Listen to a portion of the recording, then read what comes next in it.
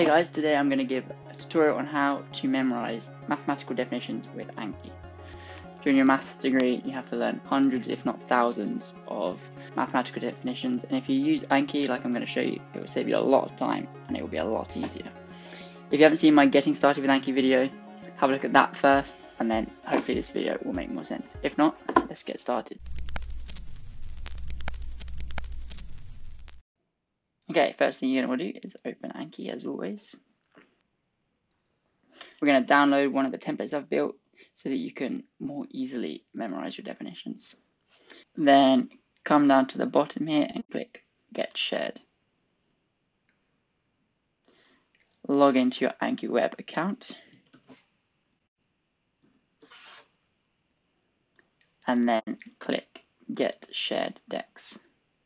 And in the search bar on the top right, type in UMT. And there we go, UMT definition. This is my template, so click on the template. Scroll down to the bottom, click download. Then when it's downloaded, open it up, and it should automatically open up into Anki. So there we go. UMT definition template. First thing we want to do is delete this. We've deleted the cards in, in the deck that we've downloaded, but we've still kept the definition template. Okay, so once we've done that, we're going to open our maths deck and we're going to click add. Full screen that. And if you can't fit card type, you'll notice you have a new card type, which is called definition. So we're going to choose that. This card type has four fields, name, definition, examples, and picture. So as an example, I'm going to put in the definition of a group. So in the name, you want to come up here, type in the name of the definition you want to learn. So we've got group. Don't worry if you don't know the definition of a group or you have a different definition for group. The point is, it's an example and hopefully it will explain how to use this flashcard type. Then you type in the definition. A group is a set equipped with an operation such operation open LaTeX C dot close LaTeX where C dot is the multiplication dot. That is closed associative has an identity has an identity element in every element. Now we're going to give some examples. Examples are extremely important. They help solidify a definition in your mind. So we're going to do open LaTeX, and then we're going to do the integers modulo n. So this is the syntax for the integers modulo n. So BBB. BBB gives double script lettering, and underscore gives superset lettering, and we'll see what that looks like in a minute. And then we're going to do backslash for a space and another example, the rationals under multiplication, and then close LaTeX.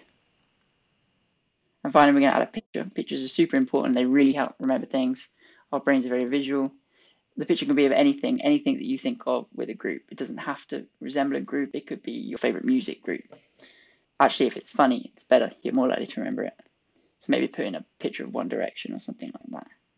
Okay, so we're going to come and we're going to upload the picture I did earlier. And finally, we're going to tag for the module that this is related to. This is very important, as I mentioned in my last video. Okay, one more thing. The word here has to match exactly the name in the definition. And we'll see why in a second. Okay, so we're going to come up and click cards, and we're going to see what we've got. So this creates three kinds of cards. The first is your normal definition. So the front says define group, and then on the back we have the definition of a group. And also the picture and the examples are there too to help solidify the memory. But to get the card right, you just have to recall this.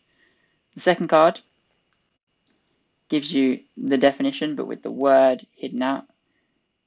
This is why these two have to be exactly the same so that the flashcard can search this and remove that. This card also has a typing box. So you have to type the answer in and then you get to decide whether it's correct or not. And then on the back, you get the definition. What you've typed is compared to the name, and finally the picture and the example are there too. And then the third card is give an example card.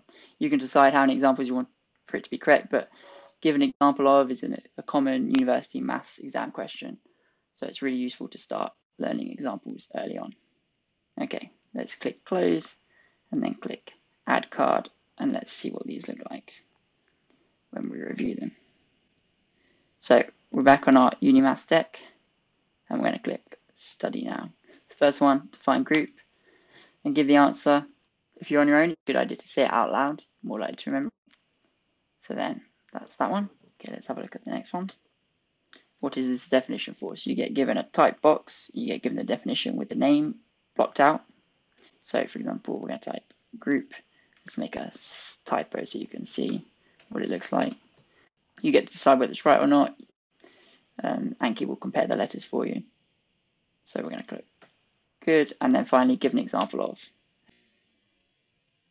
Okay, that's the end of the video. If you've liked this video and want to see more like this, please subscribe and give a thumbs up, and thanks. See you next time.